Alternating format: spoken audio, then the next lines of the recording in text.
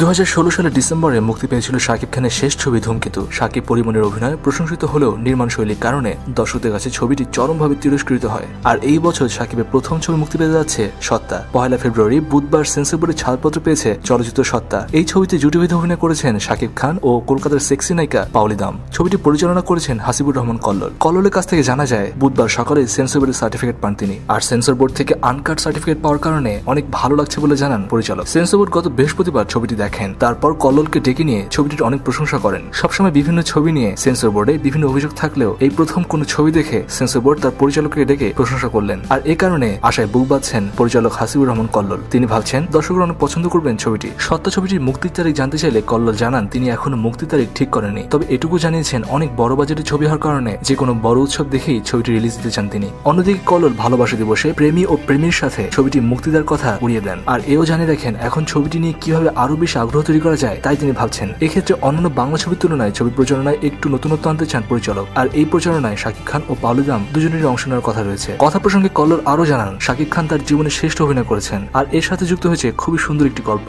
দর্শক, শাকিব খানের নতুন ছবি সত্তা কেমন করতে পারে বলে আপনার মনে হয়? জানান নিজের কমেন্ট সেকশনে আর এই বছর শাকিব খানের কোন ছবিটি বক্স অফিস ফাটাবে শেয়ার করুন আমাদের সাথে। আর শাকিব খানের কোনো গুজব বা মিথ্যা খবরের জন্য নয়, শুধুমাত্র অথেন্টিক খবর জানার জন্য সাবস্ক্রাইব করুন খবর টিভিকে